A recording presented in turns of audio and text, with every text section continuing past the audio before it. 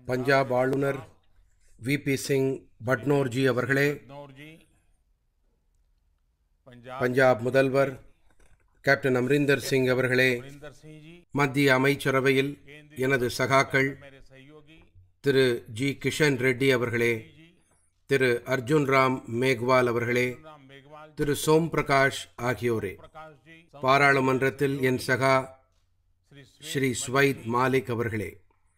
நிகழ்ச்சியில் இணைந்திருக்கும் மதிப்பிற்குரிய முதலமைச்சர்கள் பிரதிநிதிகள் जलियावाला தியாகிகளின் குடும்ப உறுப்பினர்கள் சகோதரர்கள் மற்றும் சகோதரிகளே பஞ்சாபின் துணிச்சலான பூமிக்கு ஜலியாவாலா பாக் புனித மண்ணுக்கு बाग की पवित्र எனது வணக்கங்கள் मेरा अनेक அன்னை இந்தியாவின் குழந்தைகளுக்கும் வணக்கங்கள் भारती की उन संतानों को भी नमन जिनके भीतर இவர்களின் மனதில் கனன்று கொண்டிருந்து சுதந்திரச் சுடரை அணைக்க மனிதாபிமானமற்ற முறையில் அனைத்து எல்லைகளும் தாண்டப்பட்டன. அந்த அப்பாவி குழந்தைகள் அந்த சகோதரிகள் மற்றும் அந்த சகோதரர்களின் கனவுகள். ஜலியாவாலா பாக் சுவர்களில் உள்ள தோட்டாக்களின் அடையாளத்தில் இன்னும் தெரிகின்றன. அந்த தியாக கிணறு எண்ணற்ற தாய்மார்கள் மற்றும் சகோதரிகளின் உறவுகள் பிரிக்கப்பட்டன. அவர்களின் உயிர்கள் பறிக்கப்பட்டன. அவர்களது கனவுகள் மிதிக்கப்பட்டன. இன்று அவர்கள் அனைவரையும் நாம் நினைவு கூறுகின்றோம். சகோதர சகோதரிகளே ஜலியாவாலா பாக் இந்தியாவின் சுதந்திரத்திற்காக. சர்தார் ஊதம் சிங் சர்தார் பகத்சிங் போன்ற எண்ணற்ற புரட்சியாளர்கள் தியாகிகள் போராளிகளுக்கு தைரியம் நெஞ்சுரம் அளித்த இடம். ஏப்ரல் பதிமூன்று ஆயிரத்து தொள்ளாயிரத்தி பத்தொன்பதாம் ஆண்டு அந்த பத்து நிமிடங்கள் நமது சுதந்திர போராட்டத்தின் அடிப்படை ஆனது. இதன் காரணமாக இன்று நாம் சுதந்திரத்தின் அமிர்த விழா மகோத்சவத்தை கொண்டாட முடிகிறது. இத்தகைய சூழ்நிலையில் சுதந்திரம் பெற்ற எழுபத்தி ஐந்தாவது ஆண்டிலே ஜலியாவாலா பாக் நினைவிடத்தின் நவீன வடிவத்தை பெறுவது நம் அனைவருக்கும் பெரும் உத்வேகத்தை அளிக்கக்கூடிய ஒரு வாய்ப்பாகும். இது எனக்கு கிடைத்த பெரும் அதிர்ஷ்டம். பலமுறை ஜலியாவாலா பாக் என்ற இந்த புனித பூமிக்கு வந்து இந்த புனித மண்ணை என் நெற்றியில் பூசும் பாக்கியம் கண்டிப்பாக கிடைத்திருக்கின்றது. இன்று நடந்த சீரமைப்பு பணி தியாகத்தின் அழியாத கதையை இன்னும் உயிர்ப்பிக்கச் செய்திருக்கின்றது. இங்கு கட்டப்பட்டுள்ள பல்வேறு காட்சியகங்கள் சுவர்களில் பொறிக்கப்பட்ட தியாகிகளின் படங்கள் ஷஹீத் ஊதம் சிங்ஜியின் திருவுருவச் சிலை இவை அனைத்தும் அந்த காலத்திற்கே நம்மை அழைத்துச் செல்லுகின்றன. ஜலியாவாலா பாக் படுகொலைக்கு முன் இந்த இடத்தில் புனிதமான பைசாக்கி விழாக்கள் அரங்கேறின. அவை கோலாகலமாக நடத்தப்பட்டன. இதே நாளில்தான் குரு கோவிந்த் சிங் அவர்கள் சர்வத்தா பலா என்ற உணர்வுடன் கால்சா பந்தினை நிறுவினார். சுதந்திரத்தின் எழுபத்தி ஐந்தாவது ஆண்டிலே ஜலியாவாலா பாகின் இந்த புதிய தோற்றம் நாட்டு மக்களுக்கு இந்த புனித இடம் பற்றிய வரலாறு இதனுடைய கடந்த காலத்தை பற்றியெல்லாம் அறிய ஒரு நல்ல வாய்ப்பினை அளிக்கும். இந்த இடம் புதிய தலைமுறையினருக்கு எப்போதுமே நினைவூட்டும் நம் சுதந்திர பயணம் எப்படி இருந்தது என்பதை. இந்த நிலையை அடைய நம் முன்னோர்கள் என்னென்ன செய்தார்கள் என்னென்ன தியாகம் புரிந்தார்கள் என்பதை. எவ்வளவு தியாகங்கள் எவ்வளவு தியாகங்கள் எவ்வளவு போராட்டங்கள். தேசத்திற்கான நமது கடமைகள் என்னவாக இருக்க வேண்டும்? எப்படி நமது எல்லா வேலைகளிலும் நாட்டை முதன்மையாக வைத்திருக்க வேண்டும்? அதற்கான உத்வேகமும் புதிய ஆற்றலும் இந்த இடத்திலிருந்தே உருவாகும். நண்பர்களே ஒவ்வொரு தேசத்தின் பொறுப்பு அதன் வரலாற்றை பத்திரமாக பாதுகாப்பது. வரலாற்றில் நடக்கும் நிகழ்வுகள் நமக்கு கற்பித்தலை தருவதோடு முன்னேறுவதற்கான வழிகாட்டுதலையும் அளிக்கின்றது. ஜலியாவாலா பாக் போன்ற மற்றொரு பேரதிர்ச்சியை நாம் இந்திய பிரிவினையின் போது பார்த்திருக்கின்றோம். பஞ்சாபின் கடினமாக உழைக்கும் மற்றும் கலகலப்பு நிறைந்த மக்கள் பிரிவினையின் மிகப்பெரிய பாதிப்புக்கு ஆளாகினார்கள். பிரிவினையின் போது என்ன நடந்தது என்ற வலியை இன்றும் இந்தியாவின் ஒவ்வொரு மூலையிலும் குறிப்பாக பஞ்சாபின் குடும்பங்களில் நம்மால் உணர முடிகிறது. எந்த ஒரு நாடும் தனது கடந்த காலத்தின் இத்தகைய கொடூரங்களை புறக்கணிப்பது சரியான ஒன்றல்ல. எனவேதான் இந்தியா ஆண்டுதோறும் ஆகஸ்ட் மாதம் பதினான்காம் தேதியை விபாஜன் விபீஷிகா நினைவு தினமாக நாடு துண்டாடப்பட்டதன் நினைவு தினமாக எதிர்கால தலைமுறையினர் நினைவு கூறும் வகையில் கொண்டாட முடிவு செய்துள்ளது. விபாஜன் விபீஷிகா நினைவு தினம். நமது எதிர்கால தலைமுறையினருக்கு தெரிவிக்கும் எத்தனை பெரிய விலையை கொடுத்து சுதந்திரத்தை நாம் அடைந்தோம் என்பதை அவர்களால் புரிந்து கொள்ள முடியும். பிரிவினையின் போது கோடிக்கணக்கான மக்கள் அனுபவித்த வலியை. நண்பர்களே தியாகம் நமக்கு கற்றுக் கொடுக்கிறது. சுகு ஹுவே சேவ் கமானியா. அதாவது மகிழ்ச்சி என்பது மற்றவர்களுக்கு சேவை செய்வதன் மூலமாகவே உண்டாகின்றது. நமக்கு உண்மையான மகிழ்ச்சியானது மற்றவர்களின் வலியை உணரும் போதுதான் ஏற்படும். அதனால்தான் இன்று உலகில் எங்கும் இந்தியர்கள் யாராவது சிக்கலில் இருந்தால் முழுபலத்தோடு இந்தியா அவர்களுக்கு உதவி செய்கின்றது. கொரோனா காலம் அல்லது ஆப்கானிஸ்தானின் தற்போதைய நெருக்கடியாக இருந்தாலும் உலகம் அதனை தொடர்ச்சியாக அனுபவித்து வருகின்றது. ஆபரேஷன் தேவி சக்தியின் கீழ் ஆப்கானிஸ்தானில் இருந்து நூற்றுக்கணக்கான நண்பர்கள் இந்தியாவிற்கு அழைத்து வரப்படுகின்றார்கள். சவால்கள் பல சூழ்நிலைகள் கடினம் ஆனால் குருவின் அருளும் நம்மிடத்திலே இருக்கின்றது.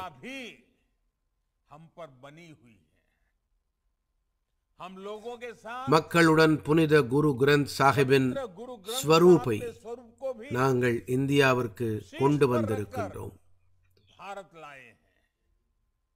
நண்பர்களே கடந்த சில ஆண்டுகளாக இந்த பொறுப்பை நிறைவேற்ற நாடு அனைத்து வகையான முயற்சிகளையும் மேற்கொண்டுள்ளது.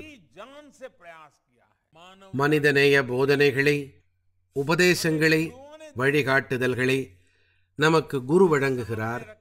அவற்றை முன்வைத்து நாடு அத்தகைய சூழ்நிலைகளால் துன்புறுத்தப்படும் மக்களுக்காக புதிய சட்டங்களை உருவாக்கியிருக்கின்றது.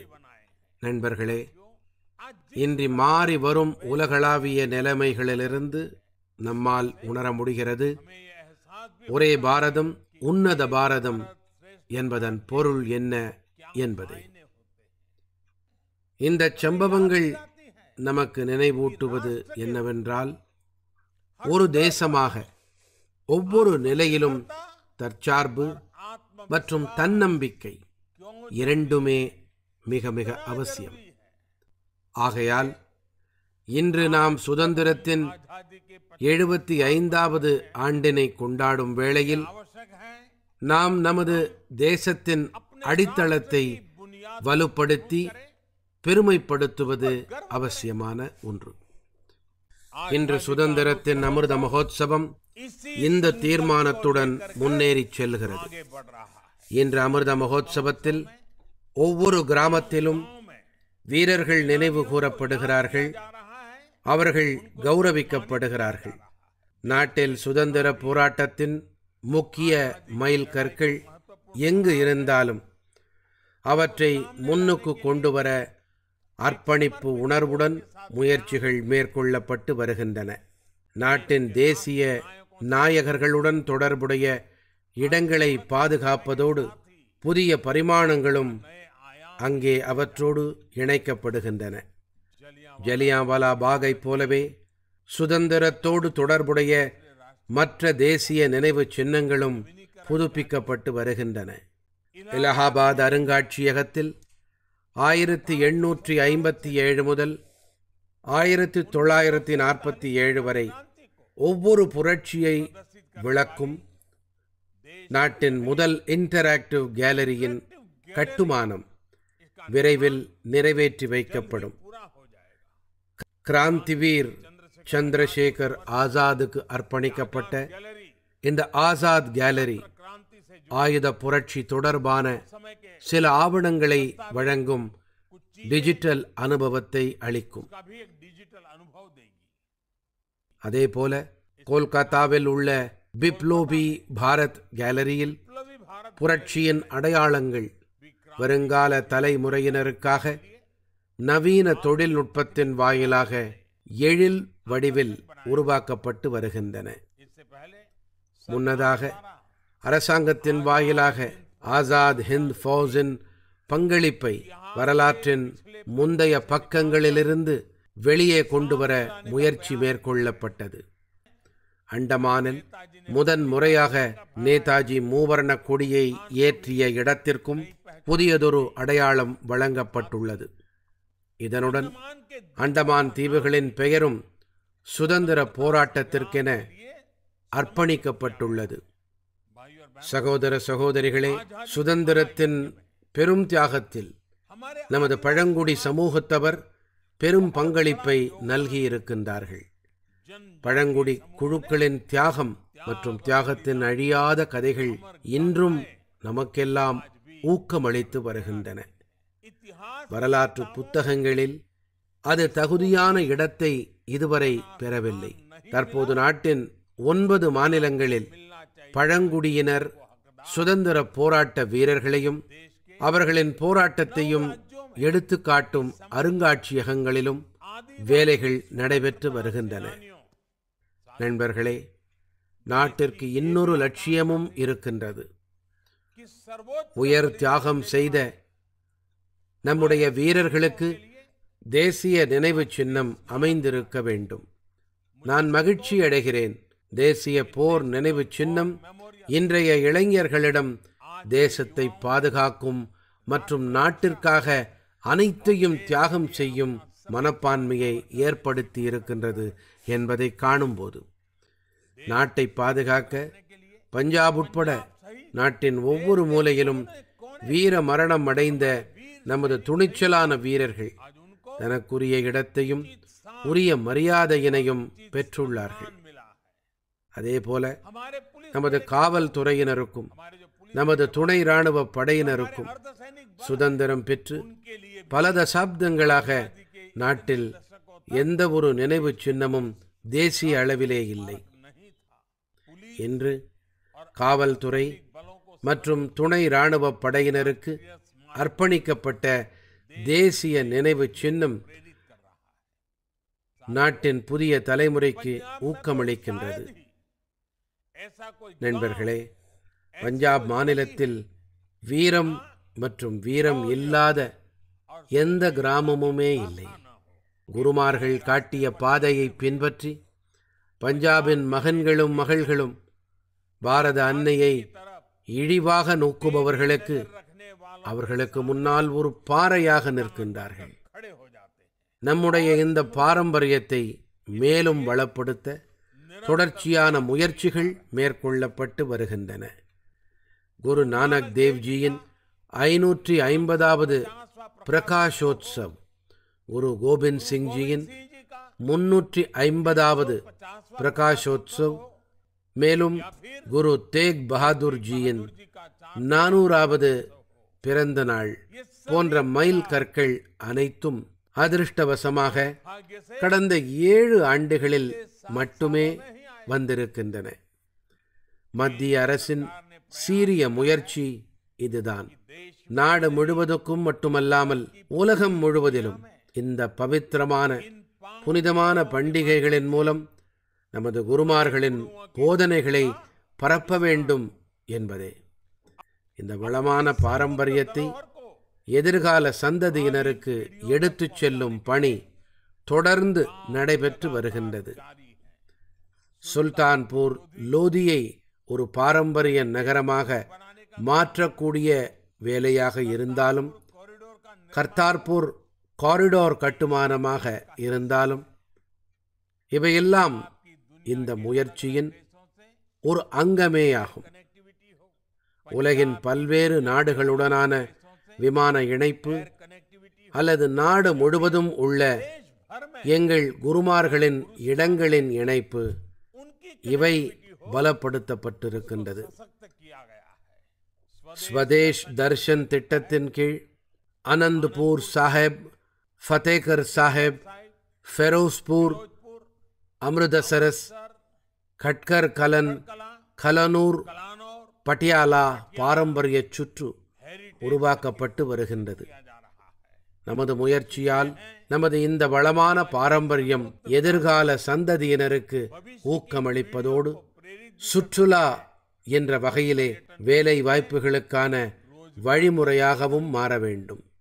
நண்பர்களே இந்த சுதந்திர அமிர்த மகோத்சவ காலம் நாடு முழுமைக்கும் மிகவும் முக்கியமானது. இந்த அமிர்த காலத்திலே நாம் பாரம்பரியத்தையும் வளர்ச்சியையும் ஒன்றாக எடுத்துச் செல்ல வேண்டும். மேலும் பஞ்சாப் பூமி எங்களை எப்போதும் ஊக்குவித்து வந்திருக்கின்றது.